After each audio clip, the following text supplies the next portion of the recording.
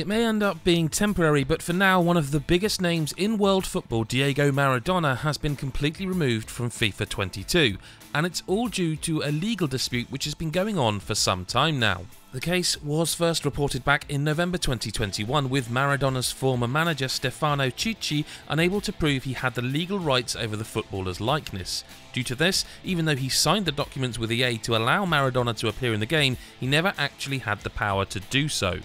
It has been reported by Eurogamer.com that Maradona's assets are actually owned by Matthias Morla, who apparently got the rights in August 2020, though it all sounds like a very messy legal battle over who owns the rights to Maradona's assets.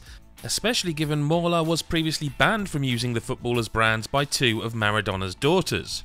When you boot the game and load into it now, you're met with a message informing you Maradona has been removed. The message reads Due to a third party legal dispute, we must suspend Diego Maradona from appearing in FIFA Ultimate Team Packs, Ultimate Draft, and the Soccer Aid World 11 team. It's worth noting that at the time of writing, Maradona can actually still be used in the Soccer Aid team if you don't allow the game to download the latest squad updates. As for how long this will be the case, nobody knows, and it could be that EA Sports patches the game further to stop this from being the case.